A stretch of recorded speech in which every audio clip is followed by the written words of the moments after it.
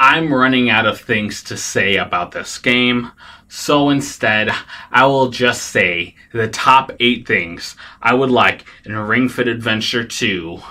Uh, just to get the round information out of the way so we can get to the real video, I was able to get mostly through World 42 out of 69 worlds.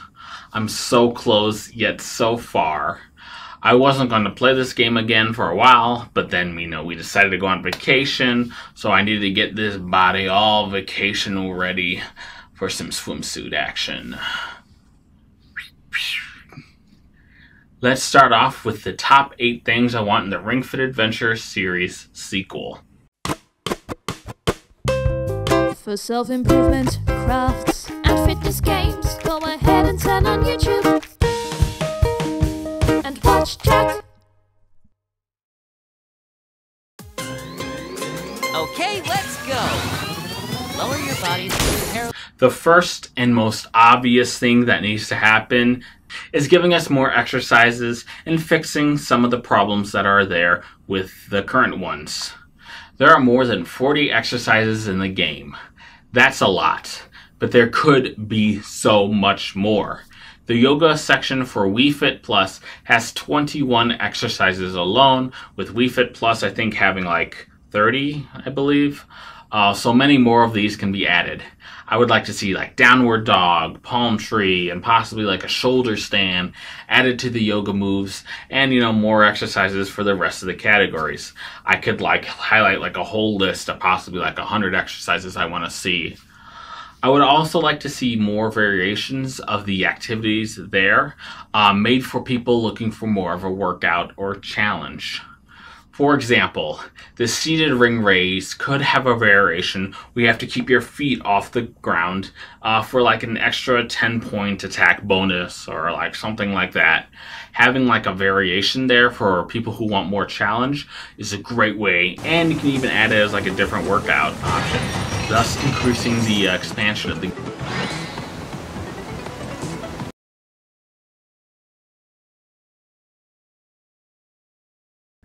Also, fix the attack values in this game.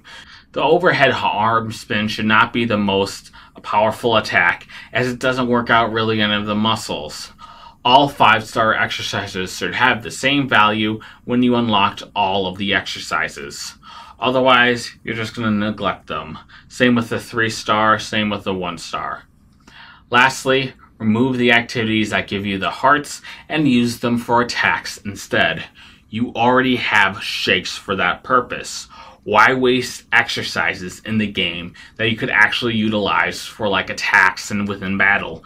Uh, if I want to heal my heart, I'm not going to be sitting there working on my bicep. I'm just going to drink a smoothie very quickly and start my next attack.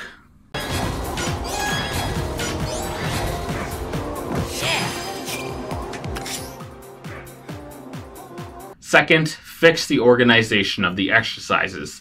The menu in this is absolutely horrible. There are still options for the two and one star exercises when you have three star exercises unlocked. Just remove them from the menu. It would be crazy to have this system still here after the sequel, since you know more exercises will take up more time for you to have to scroll through and find what you want. Also, set up a better playlist system. Why not have the ability for you to create your own list uh, so you can quickly assign your exercises depending on the scenarios? Maybe include like some dynamic list options, such as, you know, here are your most used exercises, or here you are for your most least used exercises that would be great, uh, especially the least used exercises if you are trying to get like all the titles in the game. Otherwise, you have to look up the tracker and be like, okay, I haven't done you know seated ring raise for a while. It's just boring. Just do it automatically. I'm lazy.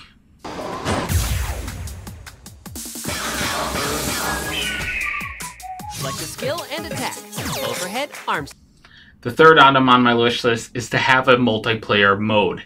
Having two people run along the track in like a horizontal split screen experience. Uh, when you get into a battle, you can choose between like you both doing the exercises at the same time or like swapping back and forth between each other, uh, kind of like more of like a traditional RPG would. I love working out with my girlfriend, and I assume she enjoys doing it with me too. Having that option for couples to work out together is an incredible bonus to add to this game.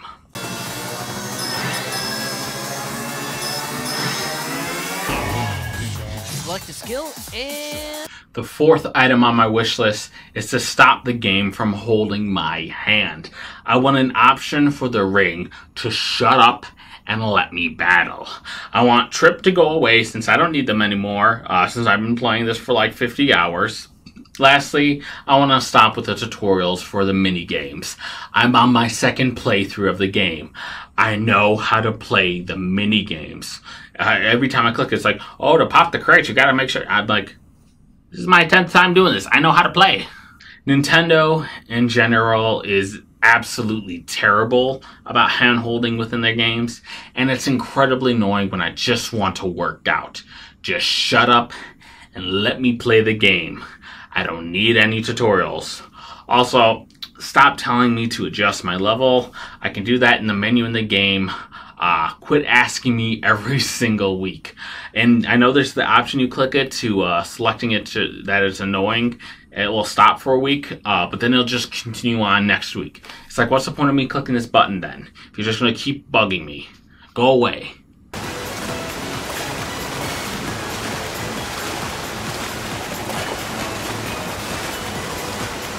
Speaking of all that, the fifth thing I want in this game sequel is a quick start option. I just want to get in, work out, and get out. Instead, I have to hear the introduction from Tipp and the ring. I have to ask if I want to stretch. Then it asks me if I want to adjust the dang level, even though I told it I was annoyed by it already. Then I have to wait for the world select screen to load, which you know isn't bad in this game, but it's still kind of annoying. Then I have to select a level, skip all the dialogue. Um, it can take like a few minutes uh, that can be used for working out. I usually play this game during my lunch break at work. I have like an hour lunch. I work from home, so I'm not like running in an office. Uh, also, you know, that's half my lunch I'm spending on this game. And every minute counts. Having an option that skips all this and just plays the level you currently left off would be a godsend.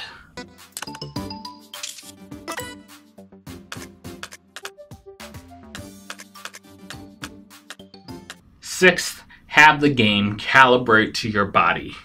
This is full. Six, have the game calibrate to your body. This is for both the exercises and squeezing, squeezing the Ring-Con and running. Every person has a unique body whose actions do things differently. Uh, depending on your strength, you know, having the game calibrate and adjust slightly to how run fast you run or how hard the, you squeeze the Ring-Con can give a more challenging workout for those who are stronger, or maybe even give it a little lighter for those who are a little weaker. Having the exercises calibrate can fix so many of the issues with them. Uh, with like mountain climbers, for example, uh, which can't detect on people with our bigger stomachs since can't really get all the way up there because our belly's in the way. Uh, the game should calibrate and keep that in concern. The game should still steer you to doing the exercises correctly, but adding some little adjustments can be a godsend for the people that the game just isn't programmed to. right. Lower down. Raise up. Left. Ten more. Lower down. Raise up. Left. Right. Lower down. The seventh addition I would like to add to a potential Ring Fit Adventure 2 is to lean on the adventuring more. Right now, you have a level select screen system, which is good, but having an open world style game would be so much better. Having you run around like an on rails path system between different villages um, would be amazing you know you could stop at any time to like go to a store or like you know suck up the items or like attack enemies. You can even possibly do it in like a first person mode where like the enemies have to touch you. If they do then you get to battle them uh, kind of if you guys ever played the game killer 7 for the gamecube i'm kind of imagining like a system like that. The side missions can come from talking to the different villagers, and the mini games can come from like playing like games within the villages, uh, kind of like with uh, Ocarina of Time. As you upgrade your ring, you can explore more of the area, such as like flying to the tops of mountains or swimming off to a new sub island. Um, there's just so much more potential by leaning into the game's RPG styling and providing more of an open world to explore. Trust me, I know why they didn't do this. First, it'll be so much harder to develop, um, and you have to teach the new players, but it could be a huge way to shake things up. Also, with over 10 million copies sold, most of the people who would play the sequel would have already played the first game. The casual audience has been trained and they're ready to tackle a more complex game.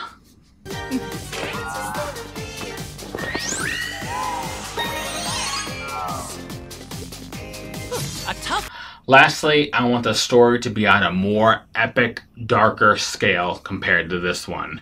Think of how Majora's Mask was to the Ocarina of Time.